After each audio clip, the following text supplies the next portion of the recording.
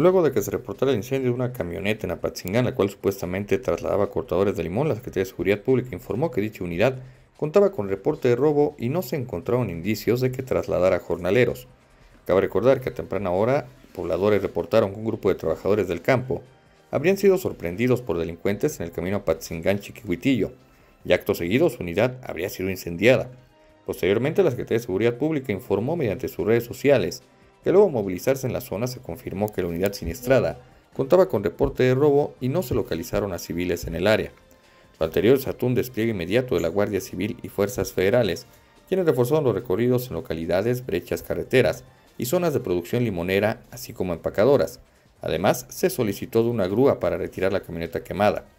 Sobre el caso, la Secretaría de Seguridad Pública informó en sus redes sociales que debido a un reporte de C5I sobre detonaciones, Hemos reforzado la vigilancia en la localidad de San Antonio La Labor en Apatzingán. Durante nuestra búsqueda encontramos un vehículo siniestrado. Según las primeras investigaciones, este vehículo cuenta con reporte de robo. La Fiscalía de Michoacán está llevando a cabo las diligencias correspondientes para esclarecer el caso